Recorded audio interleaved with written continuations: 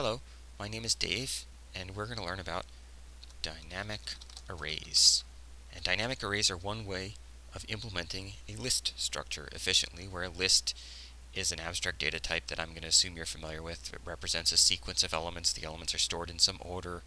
Um, we're allowed to have duplicate values, and the traditional operations we might want to perform on a list are asking that list for its size, uh, adding an element to the list, to the end of the list usually. Um, uh, let's see, getting an element, getting an element. In fact, maybe we'll put that first since it's going to be simpler to implement it. Get an element from at a particular index from the middle of the list, int index, and then with some fancier things, maybe we want to add an element at a particular index in the middle of the list. We'll look at how that's done, and remove an element from the middle of the list. Um, and maybe when we remove it, we'd like to know what element we removed, so we'll return that. So that should be a good set of methods to work with. So how do we implement a dynamic array? Um, and remember, dynamic arrays are just one way of making this set of methods work. Um, how do we write a dynamic array? You may have you may not have encountered the word dynamic array, by the way, in your course. If you're taking a Java course, you've probably seen it as being an array list. So an example of a dynamic array a dynamic array implementation is the array list class that comes built into Java. Um, but a generic term for this idea is dynamic array. So how does that work? Well, inside an array list, or any dynamic array, the one that I'm making now, I'm going to have an array. So let's draw a picture of that. Here's my dynamic array class. Here's an instance of the dynamic array class. It looks like this inside of dynamic array, it's got some data. Data. So that's one of that's a field inside of my class, and that field is going to be associated with an array. Uh, let's say that large. So here's my array, and apparently has four elements. Let's make a note. It has element at position 0, 1, 2, and 3. Four elements and those elements are somehow stored inside of that array as let's say little blobs here. So these are these represent the elements of my array. These are references to those elements that are stored in the array itself. And that's the plan. So now we're going to implement this this uh, dynamic array class to have this array inside it. And the first thing we're going to worry about is how on earth, I mean, we can kind of imagine how size and get would work, but we're very confused about how do you add elements to this thing? How do you remove elements the, from this thing? I mean, you have four elements in this, how do you add a fifth element? Because one thing we know about arrays is you cannot change the size of an array. Once you've created it, it is that size forever. So how do we make a larger array?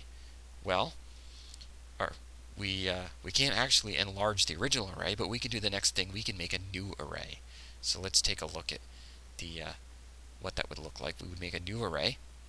So suppose we want to add a fifth element. Suppose this is that fifth element we would like to add to the end of the dynamic array.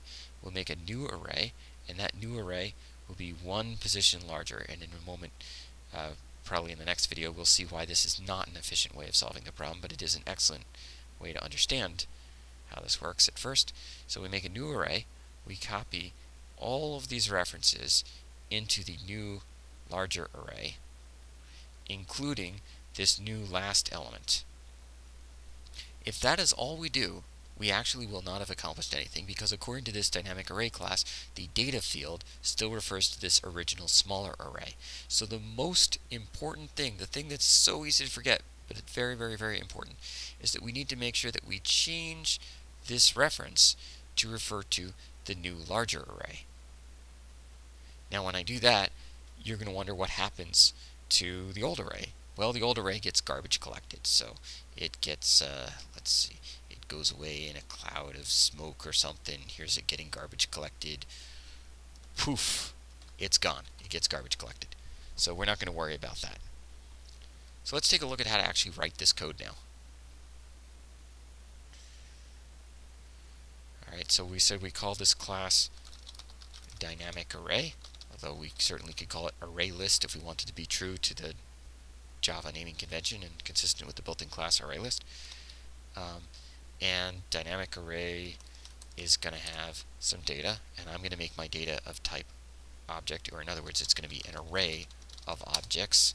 If we wanted to do this the generic way, we'd make it dynamic array of E, and this would be an array of E, but that's going to introduce complications that I think are are going to get in the way of us understanding the core concept of dynamic dynamic arrays right now. Uh, and you know we're going to have lots of methods here, but the main method, and I want to focus on the the core tricky method here, and that's how do you add an element to the end of the array. If we could do that, we'd be in good shape. So add an element, an object, to the end of my array. How am I going to do that? Well, what did I do? I I realized right away I needed a larger array. So the first thing we'll do is we'll make a bigger array. A bigger array, uh, which I guess we'll initialize to be a new bigger array. And how big? Well, it should be the size of the old array, that's data.length, plus one more position for the new value at the end. The next thing that we did when we drew the bigger array is we copied all of those references into the bigger array, and unfortunately that's going to require a for loop. No shortcuts here, we're going to have to copy one element at a time. Actually, there is a there's a built-in method that will do this for you in Java, but uh, it doesn't change the fact that it's still copying one element at a time. It may just be slightly more efficient behind the scenes. So for each position in the smaller array, because I, right, I, I only made four copies, these four pink objects moved into the larger array, four copies. So for each position in the, uh-oh, where'd my cursor go?